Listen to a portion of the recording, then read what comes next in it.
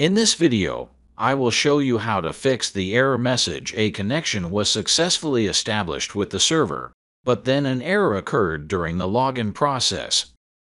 This error can occur for a variety of reasons, such as a typo in the connection string, a misconfigured firewall, or a problem with the SQL Server instance.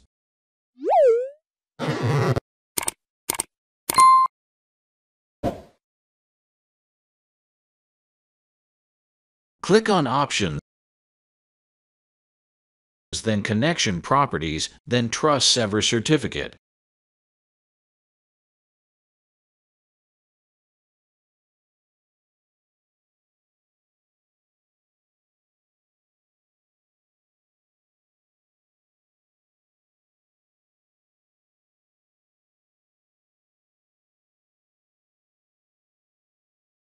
I hope this helps if you are still having trouble fixing this error.